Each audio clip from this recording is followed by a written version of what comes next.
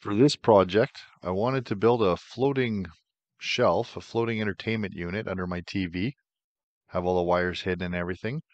But uh, I decided to build one rather than purchase one. And then when looking at prices of wood and just the concept, I felt I wanted to try repurpose one and see if I could do that first.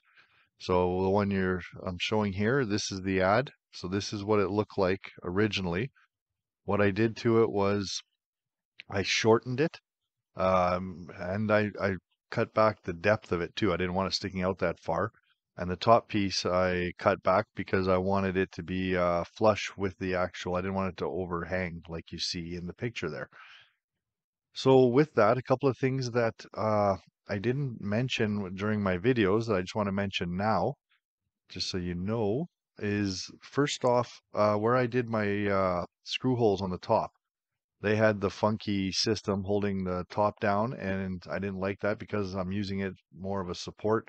I wanted it sturdier, so I actually drilled down and screwed down from the top into the sides but I, with that, I wanted to hide the screws, so I didn't want them showing. So because I shortened the depth of it so much, I had dowels left over. And so what I did was I just drilled the top of the screw head uh, where the hole is wide enough, uh, the right size for a dowel, and then put it down, hacksawed it clean, and then sanded it and uh, stained over top. The other thing I just wanted to mention quick is for supporting it, you can see here now in this picture, the back plate of the backboard that I put in, that is what's supporting it off the wall. That is set inside, so therefore the top piece is almost resting on it, even though it's not screwed to it. The top piece is screwed to the sides. What I did though is I screwed, and you can see in the picture here where I circled, I screwed two hole, two screws onto the vertical supports on each of them in the middle. So that's what's attaching it.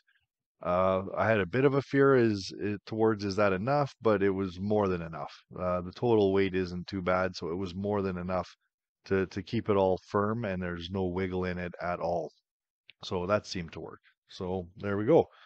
So enjoy the rest of the videos here, and uh, if uh, hit a nerve or if you see any ideas in there, then perfect. Let me know what you, what you did and how you built yours, and uh, throw me a subscribe. Enjoy.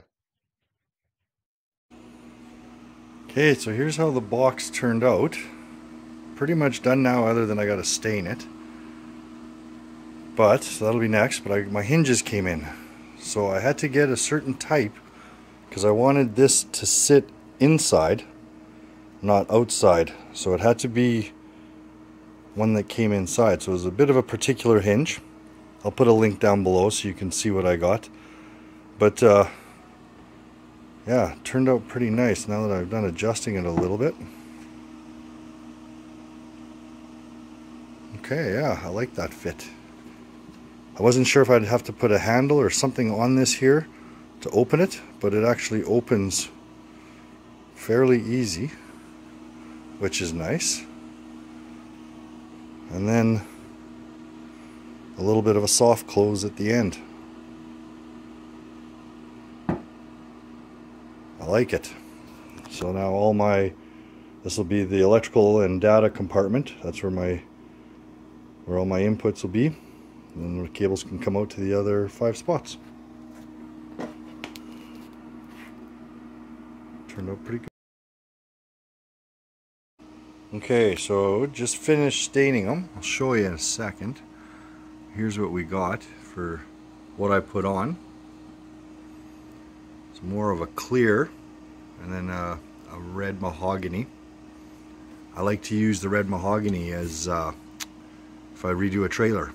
It's a nice color with like a black frame and then that mahogany, oh it just pops. So, there's the, the door in the red mahogany. And there's the, the semi-clear gloss per se. Wanted to try keep a bit of the natural color so I'll let that dry for a bit. We'll put the put it back together and see how it looks. With this I just wiped it on really thin. Both of them got one coat. With this I just put it on really thin. Uh, with the door I put it on get waited about maybe 30 seconds and then took a rag and just did one clean wipe to go across it just to to make it so it's not too dark so then that way you can still see the grains in it. I didn't want it to be just solid color. I just wanted it to pop a bit, a little bit like a feature. So yeah, so then we'll get it back together and we'll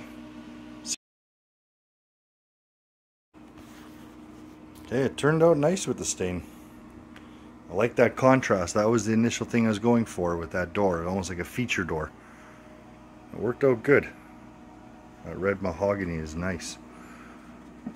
And let's reach in here, pull it open. go.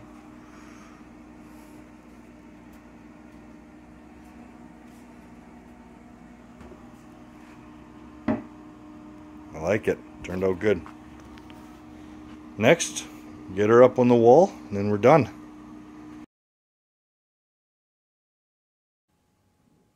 So here's the final product. There's the TV.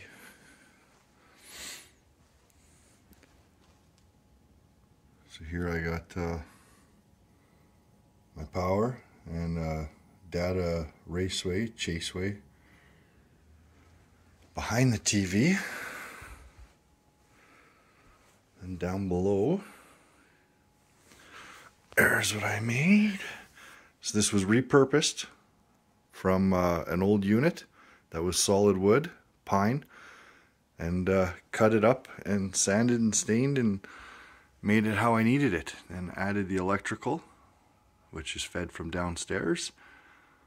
And then, so I got two plugs I had to put in, two receptacles, this one and then the one above. And then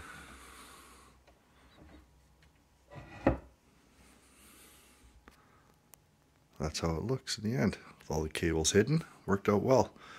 The legs, you can see I put in two, that's where my studs, the third stud would have been about an inch off, so I couldn't use it, but it holds it no problem.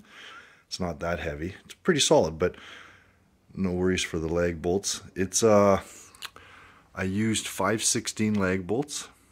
They are three and a half inches long, if I'm not mistaken. I think I went four inches long down here because I have to go through that wood. So that took me a half an inch, three quarters of an inch off the wall. For the TV, they're 5 16 slag bolts, and I think they're three and a half long. Pre-drill, obviously. The one thing I will mention is the level that comes with the kit. Uh, the stand is amazing, but uh, for the TV, the level that comes with it, throw it in the garbage.